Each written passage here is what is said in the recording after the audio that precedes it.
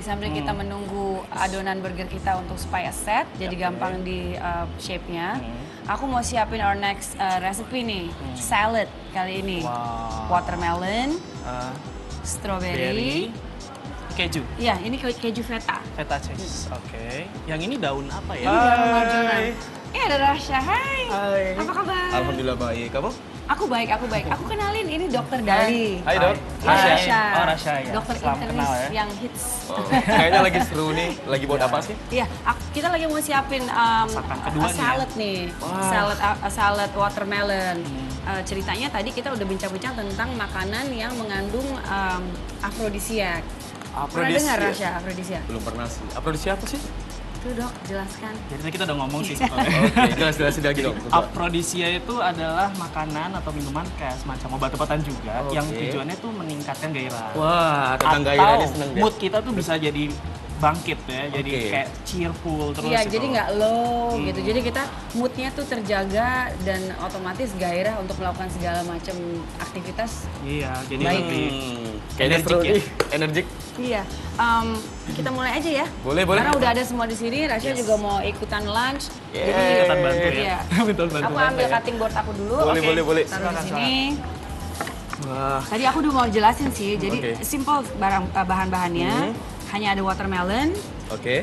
strawberry, marjoram, Oke. Terus udah ini sebenarnya herbsnya bisa diganti apa aja selera kalian sih bisa basil, bisa parsley.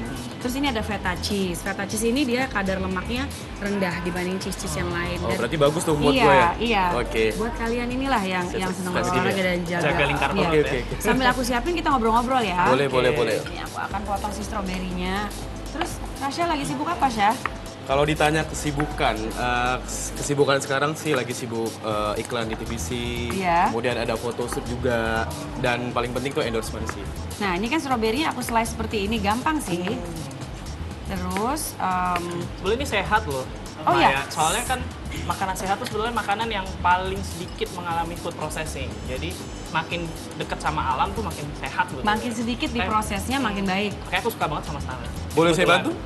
Eh, nanti aku kepengen kalian bantuin aku shape burgernya. Mhm. Ini kan eh, ada si watermelon sama strawberry. Strawberry, oke. Kamu jelasin dong ini eh, apa macam kayak gizinya atau unsur afrodisiaknya. Oke, jadi terkait afrodisia kan tadi Sampai salah satu tadi aku Oke. bilang eh, semangka sama stroberi itu ada kandungan tertentu. Contoh, misalkan kayak stroberi itu ada vitamin C. Iya. Vitamin C itu sebagai antioksidan juga eh, dia meningkatkan sistem imun, dia juga bisa bantu untuk produksi kayak hormon seks sama neurotransmitter yang bikin eh, otak kita tuh jadi gairahnya jadi naik gitu ya. Wah, Otomatis seru nih. mood gairah. Iya, itu Kita pasti. gitu ya.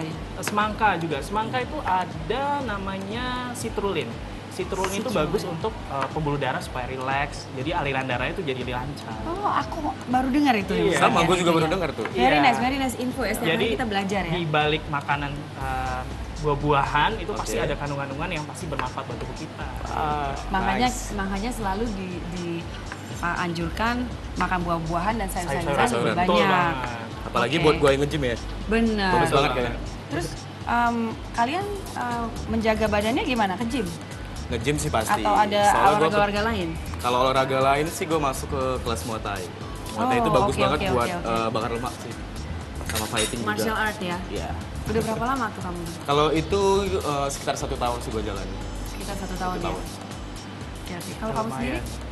Uh, kebet- sebetulnya sih kalau olahraga itu nggak harus uh, mahal, kan kayak kalau Iya, mahal benar. dibayar Benar gitu ya. Bisa apa aja, bisa lari sebetulnya, Betul. bisa uh, apa namanya sepeda, Berenang juga kalau- ya? Berenang. Ah. Tapi kalau berenang kan harus punya poolnya ya. Tapi Benar. kebetulan sih kalau aku sih suka nge-gym juga. Karena dulu basicnya memang sangat kecil banget, krempeng lah bisa dibilang krempeng Wah. banget.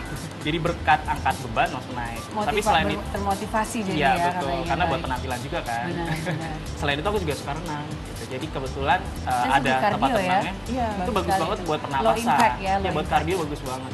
Jadi ya dirutinin aja. uh, kalau bisa se- sehari itu sarannya itu sebetulnya setengah jam minimal untuk uh, Untuk fisik. physical activity-nya yes. 30, 30 minutes every day ya Iya, recommended-nya. Dan di samping makanan-makanan sehat ini, Iya. pas. Jadi dikombinasi tuh bisa bikin tubuh jadi seger, sehat. Udah deh, ini gue nggak ya. sabar nih. Iya, ini terakhir terakhir aku mau bikin dressingnya. Jadi eh, si Ah. saus saladnya ini. Hmm. Eh, pertama aku akan squeeze tengah dari lemon ini. Lemon. Ini Oh, aku segar banget. rolling-rolling seperti ini supaya airnya lebih banyak nanti. Oke. Oh ya, buat Maya gue mau nanya nih. Ya, silahkan. Kalau untuk buah bisa diganti nggak dengan apa melon atau mangga? Boleh, boleh. Bisa. Em, sebaiknya yang agak juicy ya. Jadi Oke. melon tuh boleh, terus semangka, apalagi ya kira-kira ya. Mungkin uh, pear oh, pir. uh, atau apple Iya. bisa juga. Oke. Oke. Gue nggak sabar nih, kayak mau nyoba. We start. Lemonnya jadi harus di Itu aku rolling-rolling dulu ya? itu Oh, supaya um, jusnya lebih mudah oh, di squeeze. Gitu, ini tips juga nih ya. Bisa Terus honey. Jadi tadi setengah dari lemon, Nah, ini apa? honey, honey Oke. sekitar satu sendok makan. Ini ada uh, vinegar namanya vinegar balsamic, cuka balsamic.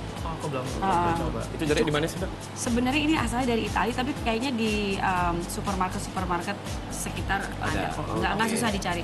Siap, siap. Ini sekitar setengah sendok makan. Sendok. salt and pepper secukupnya very simple dressing sih karena uh, si strawberry sama si uh, Watermelon, watermelon ini kan iya. udah udah ada ya. rasanya jadi ini hanya sekedar sama extra virgin olive oil Oke. Berapa banyak? Wah. kira-kira uh, dua sendok makan lalu aku aduk untuk menyatu mereka semua bakalan seger banget, cocok Iya. sama burger kita ya. Iya, Iya, kalau menu yang menu enak. yang utamanya itu kita bikin burger. Sekarang kita tuh nice. lagi menanti supaya bisa adonannya di shape dengan baik ada di refrigerator. Ngomong-ngomong itu ini udah selesai. Mhm. Ini akan aku kesampingkan dulu. Oke. Aku akan keluarkan adonan uh, burger kita. Oke, siap.